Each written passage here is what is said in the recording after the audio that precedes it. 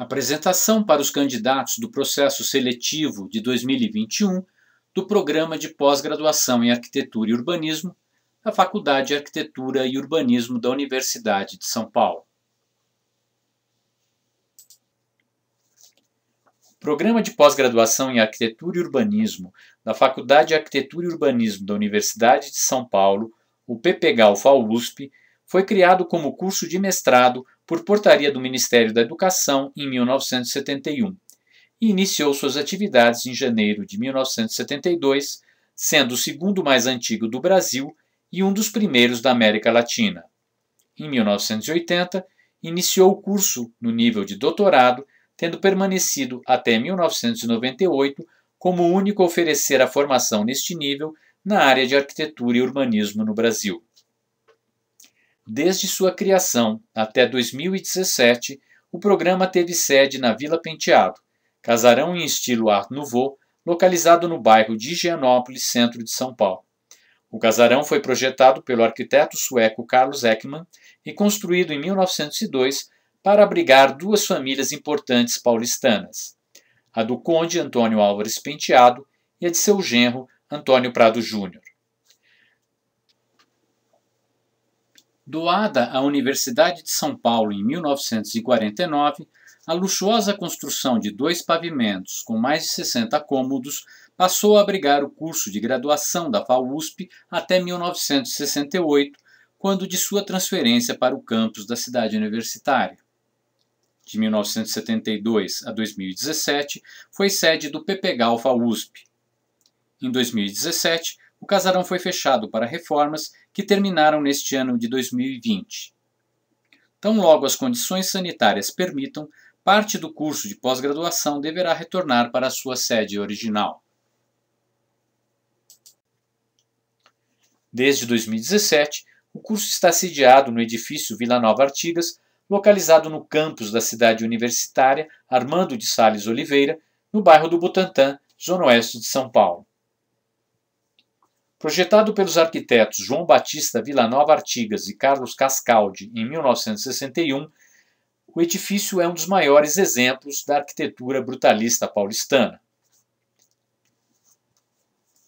Após o retorno das aulas para o edifício Vila Penteado, a parte administrativa do programa continuará no edifício Vila Nova Artigas.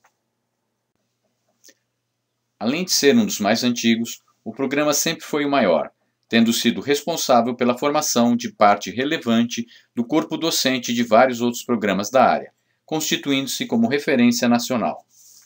Além de seu tamanho, o programa conta também com uma boa reputação internacional, sendo que o curso de mestrado ficou em 22º lugar no Best Architecture Masters Ranking de 2019, plataforma educacional de arquitetura que conta com colaboradores das universidades dos cinco continentes. Diante de sua responsabilidade pública e social, o programa havia formado até dezembro de 2019 2.862 alunos, sendo 1.660 mestres e 1.202 doutores. Atualmente, o programa conta com 94 orientadores credenciados, 382 alunos matriculados, sendo 166 de mestrado e 216 de doutorado, além de cerca de 200 alunos especiais. Em 2021, o programa está disponibilizando 124 vagas, sendo 68 vagas de mestrado e 56 vagas de doutorado. Neste ano, serão ministradas 53 disciplinas das 91 credenciadas, sendo que 27 já foram ministradas no primeiro semestre e 26 serão no segundo. Em função da pandemia de Covid, todas as disciplinas neste ano serão ministradas de forma não presencial. A pós-graduação estrito senso compreende um conjunto de atividades realizadas no âmbito do PPGAL, acompanhadas por orientador e específicas para cada aluno. Deve ser entendida como um sistema de formação intelectual e, ao mesmo tempo, de produção do conhecimento em cada área do saber. No nível do mestrado, espera-se pesquisadores capazes de formular projetos de pesquisa e de exercer atividade docente no âmbito da graduação. No nível de doutorado, espera-se pesquisadores capazes de formular, conduzir e orientar pesquisas no âmbito da pós-graduação. Tanto os alunos de mestrado quanto os alunos de doutorado deverão estar vinculados a um orientador durante todo o período do curso. Para se inscrever no processo seletivo, não é necessário ter orientador. Os ingressantes podem permanecer sob a orientação acadêmica do coordenador do programa por 120 dias, até definirem orientação nas respectivas áreas de concentração. O programa tem um compromisso histórico com a formação multidisciplinar na arquitetura e no urbanismo, abrangendo as suas três principais subáreas do conhecimento: projeto, fundamentos e tecnologia da arquitetura e do urbanismo. A pesquisa é atividade estruturadora, permitindo inovação nessas áreas. De 1972 a 2002, o programa contava com apenas uma área de concentração, chamada Estruturas Ambientais Urbanas. Nesse período, as disciplinas e as pesquisas seguiam a estrutura do curso de graduação em Arquitetura e Urbanismo de acordo com seus três departamentos de ensino: o Departamento de História da Arquitetura e Estética do Projeto, o Departamento de Projeto e o Departamento de Tecnologia da Arquitetura. Em 2002, o programa foi reformulado, passando a contar com oito áreas de concentração refletindo a sua multidisciplinaridade. Desde 2017, com a abertura do programa de pós-graduação em design, o programa de arquitetura e urbanismo não oferece mais vagas na área de concentração de design e arquitetura, e em 2021, quando se formarem os últimos alunos da área, ela será finalizada. Dessa forma, o programa conta hoje com sete áreas de concentração: a área do habitat, a área de História e Fundamentos da Arquitetura e do Urbanismo, a área de Paisagem e Ambiente, a área de Planejamento Urbano e Regional, a área de Projeto de Arquitetura, a área de Projeto, Espaço e Cultura e a área de Tecnologia da Arquitetura. De acordo com a estrutura do Sistema Nacional de Pós-Graduação, cada área de concentração conta com linhas de pesquisa específicas, nas quais os professores orientadores são credenciados e possuem os seus projetos de pesquisa. Dessa forma, todos os alunos regulares devem estar vinculados aos projetos de pesquisa docente, credenciados a uma linha de pesquisa de cada área de concentração. A área de concentração do Habitat é coordenada pela professora Maria Lúcia Refinetti e tem por objetivo criar um campo de investigação e experimentação crítica sobre os assentamentos humanos, dando prioridade à formação de pesquisador, professor e profissional inovador apto a enfrentar os atuais problemas da construção da cidade e da gestão urbana de forma participativa e capaz de desenvolver a qualidade ambiental e os direitos sociais. Assim, esse campo de investigação privilegia a análise e proposição de produtos e práticas efetivas que compõem a cidade real. Suas linhas de pesquisa são indicadores e fundamentos sociais do habitat, participação social e políticas públicas para a produção e gestão do habitat, formas de provisão na edificação, urbanização e infraestrutura, questões fundiárias e imobiliárias, moradia social e meio ambiente. A área de concentração de História e Fundamentos da Arquitetura e do Urbanismo é coordenado pela professora Andrea Loven e se propõe a investigar a produção da arquitetura, do urbanismo e do design e suas múltiplas articulações com a história da arte, da técnica, do patrimônio, da paisagem, da cidade e da habitação. Com distintos enfoques disciplinares, teórico-críticos e historiográficos, objetiva promover o conhecimento das manifestações no campo, suas permanências e transformações no tempo e no espaço, no Brasil e no exterior, em suas múltiplas escalas e dimensões e de suas esferas produtivas na contemporaneidade. Suas linhas de pesquisa são memória, práticas e representações, cultura, produção material e instituições, estética, historiografia e crítica.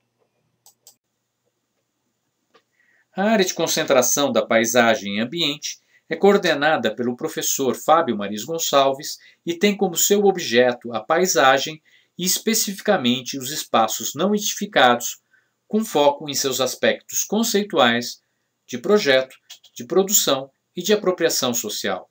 Compreende ainda a investigação das bases biofísicas e construídas que condicionam e permitem a sustentação das paisagens.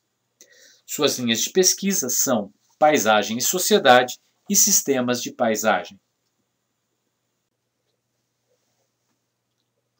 Área de concentração de planejamento urbano e regional, coordenada pelo professor Eduardo Nobre, tem o objetivo o estudo das bases teóricas e das práticas de intervenção na organização espacial de atividades sob a ação simultânea da regulação do mercado e do Estado. Analisa os processos econômicos que incidem sobre a organização do espaço do âmbito local ao nacional, as políticas e práticas de intervenção no âmbito urbano e regional e a relação entre o processo de urbanização e a formação do urbanismo, do planejamento urbano no Brasil. Suas linhas de pesquisa são Economia, Sociedade e Território, Políticas Públicas Urbanas, Urbanismo e Planejamento.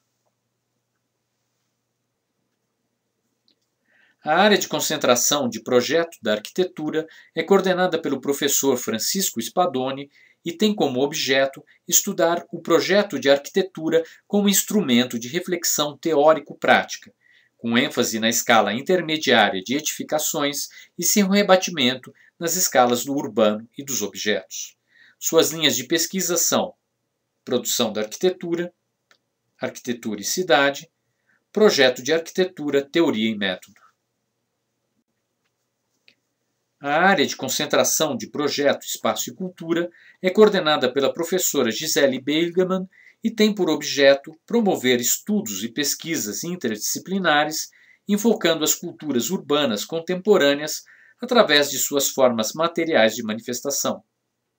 Estuda as produções projetuais no âmbito do design, da arquitetura e do urbanismo e do paisagismo, de forma a caracterizá-las como elementos formadores de imaginários urbanos e das memórias e identidades dos lugares. Sua única linha de pesquisa é Projeto Espaço e Cultura. A área de concentração de tecnologia da arquitetura é coordenada pela professora Denise Duarte e tem por objetivo o desenvolvimento de uso da técnica e do conhecimento tecnológico e científico aplicados a todas as etapas do processo de produção e uso do ambiente construído. Procura fortalecer o caráter teórico aplicativo das pesquisas, abrangendo a compreensão sobre os agentes atuantes no ambiente construído, com o estímulo às atividades de campo, simuladoras, laboratoriais e as medições em geral, além da aferição sobre as necessidades, expectativas e a satisfação dos usuários do ambiente construído. Suas linhas de pesquisa são tecnologia da construção, conforto ambiental, eficiência energética e ergonomia, processo de produção da arquitetura e do urbanismo, representações. Para o ano de 2021, o programa está disponibilizando o seguinte número de vagas por área de concentração. A área do Habitat está disponibilizando 5 vagas de mestrado e 5 de doutorado, totalizando 10 vagas a área de História e Fundamentos da Arquitetura e do Urbanismo, 18 de mestrado e 18 de doutorado, totalizando 36 vagas. A área de Paisagem e Ambiente, 8 de mestrado e 7 de doutorado, totalizando 15 vagas. A área de Planejamento Urbano e Regional, 10 de mestrado e 10 de doutorado, totalizando 20 vagas. A área de Projeto da Arquitetura, 12 de mestrado e 6 de doutorado, totalizando 18 vagas a área de projeto, espaço e cultura, 5 de mestrado e 5 de doutorado, totalizando 10 vagas. A área de tecnologia da arquitetura, 15 de mestrado e 10 de doutorado, totalizando 25 vagas. Dessa forma, o programa está disponibilizando 68 vagas de mestrado e 56 vagas de doutorado, totalizando 124 vagas. De acordo com o regulamento do programa, o curso de mestrado compreende 96 créditos, equivalentes a 1.440 horas, sendo 36 créditos em disciplinas e 60 créditos para dissertação de mestrado. O prazo para o depósito do memorial de qualificação é de 12 meses e para o depósito da dissertação é de 24 meses. O curso de doutorado compreende 147 créditos equivalentes a 2.205 horas, sendo 18 créditos em disciplinas e 129 créditos referentes à tese de doutorado. O prazo para o depósito do memorial de qualificação é de 24 meses e para o depósito da tese é de 48 meses. O programa não abre vagas para doutorado direto. Porém, os alunos de mestrado, cujos orientadores considerem que tenham maturidade e conhecimento suficiente para cursar o doutorado, poderão fazer exame de passagem para este curso. No caso da aprovação, os alunos deverão obter 192 créditos, equivalentes a 2.880 horas, sendo 63 créditos em disciplinas e 129 créditos referentes à tese de doutorado. O prazo para o depósito do memorial de qualificação é de 36 meses e para o depósito da tese é de 72 meses. O programa dispõe de boa infraestrutura, contando com serviço de pós-graduação e suas secretárias. A biblioteca conta com 65 mil livros, além de vídeos, CDs, mais de 7.500 projetos, cerca de 330 mil desenhos originais, muitos já digitalizados, e é integrada ao sistema de bibliotecas da Universidade de São Paulo. O programa conta com os seguintes laboratórios de apoio pedagógico: ateliê de esculturas, canteiro de espaços experimentais para arquitetura, seção técnica de informática, seção técnica de geoinformação e produção de bases digitais, seção técnica de modelos, ensaios e experimentações construtivas, seção técnica de publicação e produção gráfica, seção técnica de recursos audiovisuais. Conta também com inúmeros núcleos, laboratórios e grupos de pesquisa. Além disso, os alunos do programa podem se utilizar de todos os serviços e equipamentos da Universidade de São Paulo, podendo inclusive cursar disciplinas em outros cursos. Por fim, com relação ao fomento à pesquisa, o programa conta, no momento, com 35 bolsas de mestrado e 33 de doutorado dos principais órgãos de fomento nacionais: a CAPES, Coordenação de Aperfeiçoamento de Pessoal do Nível Superior do Ministério da Educação, e o CNPq, o Conselho Nacional de Desenvolvimento Científico e Tecnológico, ligado ao Ministério da Ciência, Tecnologia, Inovações e Comunicações. Como o número de alunos matriculados é muito maior que o número de bolsas, Atualmente é aberto o processo de seleção para bolsistas seguindo critérios étnico, socioeconômicos e acadêmicos. Contudo, a vinculação com a bolsa só ocorre a partir de sua vacância. Além disso, a FAPESP, Fundação de Amparo à Pesquisa do Estado de São Paulo, dispõe de seleção de bolsas de mestrado e doutorado em fluxo contínuo. Até maiores reformulações, a CAPES disponibiliza a verba do PROAP programa de apoio à pós-graduação destinado ao financiamento de atividades de docentes e discentes, tais como apoio à participação em eventos científicos, tradução e publicação de textos acadêmicos. A CAPES disponibiliza também o PRINT, Programa Institucional de Internacionalização, através do financiamento de viagens e missões de pesquisa ao exterior e doutorado sanduíche. Além disso, o programa conta com outros apoios, como o da FAPESP em projetos regulares de auxílio à viagem, ou o BEP, e apoios de outras fundações de fomento à pesquisa. Com isso, finalizamos esta apresentação. Maiores informações podem ser conseguidas pelos contatos abaixo, no site da pós-graduação na internet ou no e-mail seleção ccpau.usp.br. Obrigado pela atenção.